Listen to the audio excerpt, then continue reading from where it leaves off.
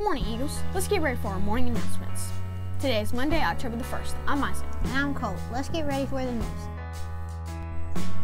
Have you ever wanted to talk to someone about how your day was going? Yes, I have. Sometimes it's really hard being a student. There are days when I have so much homework, get in argument, arguments with my friends, just feeling overwhelmed. Yeah, me too. You know, I was talking to Officer Akins, and he said that if I need, just needed to check in with an adult, I could talk to him. Really? Sure. He said that I could drop him a message. So I can just drop a message to the SRO? Yes. He likes to hear how our days are going. Get a form from your classroom and put it in the Eagle Way box. Hey, guess what? It's basketball season, y'all. That's my line. Fine, then you say it. Hey, guess what? It's basketball season, y'all! Cool. Where do I sign up? Summertown Youth Basketball is signing up members from now until October 16th. Can anyone join?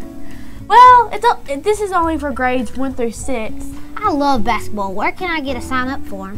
Forms are in the office. If you can't find one, you can always ask Miss Be- Betsy. She's always glad to help. She's great. I'm going to get one today. Thank you for letting me know. The word of the week is promotion.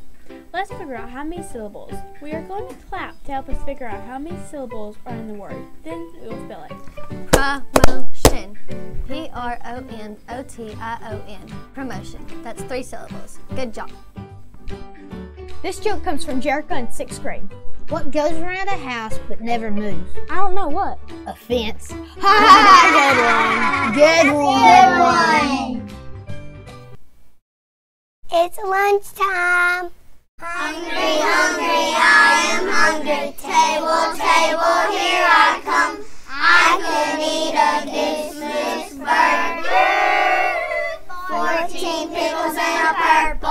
purple.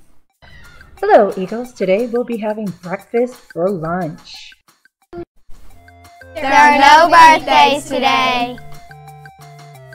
Well, Eagles, it looks like that's all for the announcements today. Let's make today amazing. Goodbye, Eagles. Do your best and have a great day.